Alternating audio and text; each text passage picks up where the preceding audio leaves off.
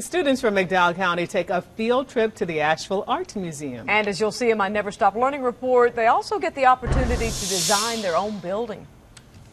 It's similar to paint. It's a little stickier.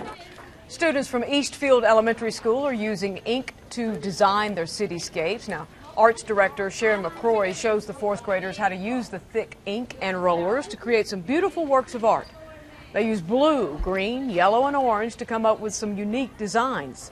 Some that are awesome, others, well, not so good.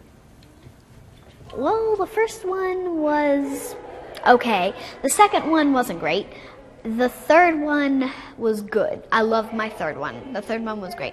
I made it red and orange, fire colored, and I did a really good um, print in it.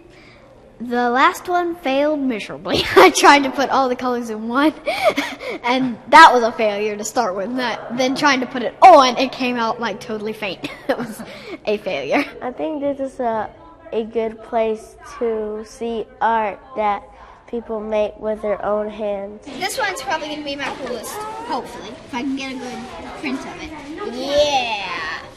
Yeah! Now that rocks. Students say overall they were pleased with how their cityscapes turned out. The visit is part of the museum's Literacy Through Art School outreach program. And Greta sounds exactly like what would have happened to me. Oh, yeah. Right. On some occasion and not so good on others, right? right.